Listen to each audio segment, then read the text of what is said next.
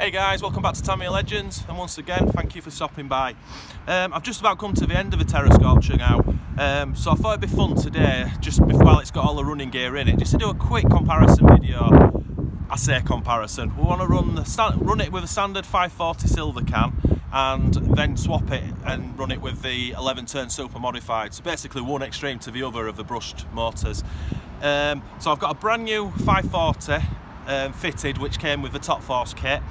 Um, we're, we're, only running 7.2 NiMH no lipo uh, and as you can see I made a few changes to the car. So basically I put the old original shell back on.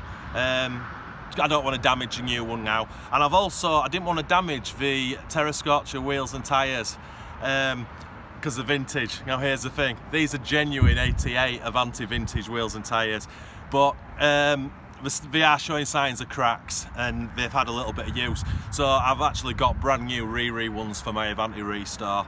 Um, but I think it looks pretty cool with them on to be fair. Um, so well, that's enough talking. So as I say, it's just going to be a very quick video. I think when you do these, when you do these kind of comparisons on the same on the same video, it just you can see the difference in speed. Whereas if you just do a video of a 540 and then a separate video, there's a gap in between and you can't see the difference. So hopefully we'll be able to see the, the massive difference in them. So let's get cracking. Right, let's see what the 540's got. Forgot to say this is running a 15 tooth pinion as well. Tell you what, it looks absolutely awesome with those Avanti wheels.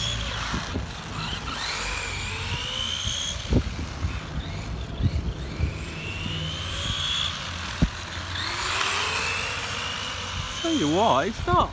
I thought it'd be a bit slower.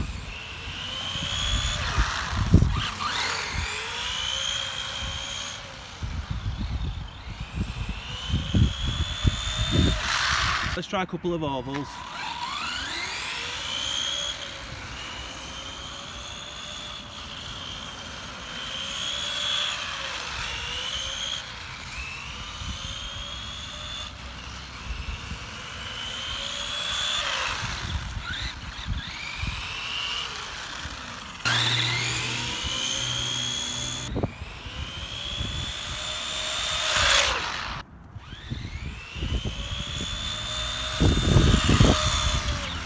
Well, that ran really well with the Silver can 540. It was actually a little bit quicker than I thought, which tells me, because I ran the 19-turn Dynatech 01R in this the other day, and I thought it was pretty quick. So I think the gearing in this in this buggy itself is quite quick. Um, just of, I don't know if I said this earlier, it's a 15 tooth pinion we're running as standard. So that's sort of right in the middle range for this buggy. So let's get the motors changed over and get the super modified in there.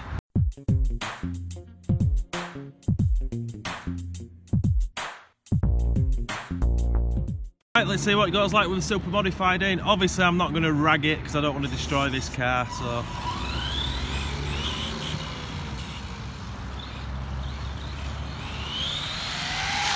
Wow.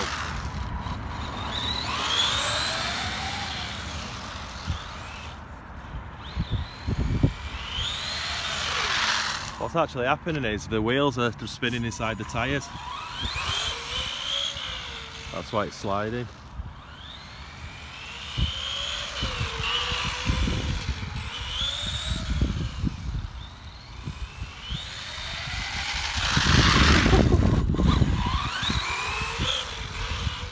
Get a flyby.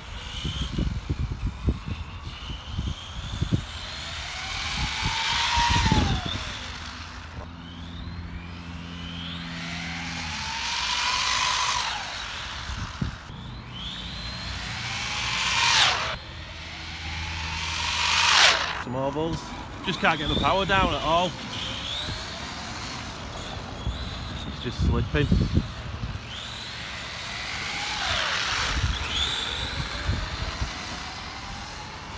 That's quick.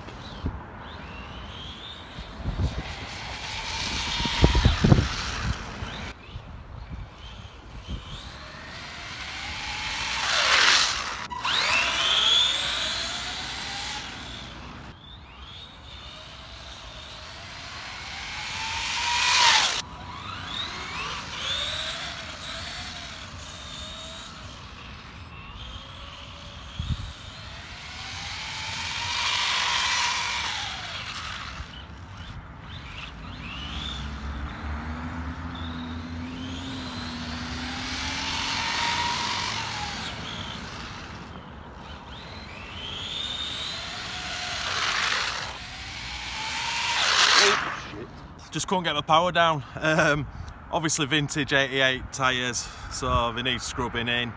The wheels were definitely slipping on the tyres and obviously it's wet, but hopefully you got a gist of how quick it is. And that's the 7.2 NiMH, never mind LiPo.